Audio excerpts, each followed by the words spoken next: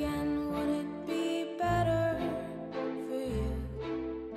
Better for you if I don't start.